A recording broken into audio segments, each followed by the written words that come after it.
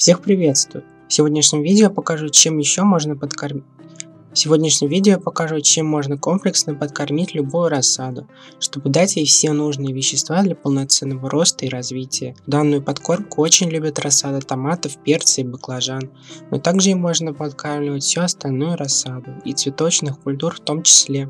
Данная подкормка содержит азот, фосфор, калий, магний, железо, цинк и многие другие вещества, а также гуминовые кислоты, фолиевые кислоты, почвенные бактерии и фитогормоны роста. Подкормка называется биогумус. Дозировка может отличаться, и у каждого производителя она может быть своя. На моей этикетке разводится препарат дозировки 15 мл на 10 литров воды или 1,5 мл в 1 литре воды. Чтобы точно отмерить, удобно для этого использовать шприц.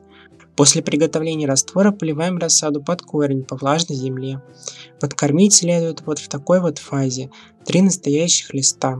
Если вы делаете пикировку, то через 5-7 дней после пересадки и в последующем каждые 2-3 недели. Спасибо за просмотр, ставьте лайки, подписывайтесь на канал на Яндекс.Дзене, ссылку вы найдете в описании под этим видео или в комментариях.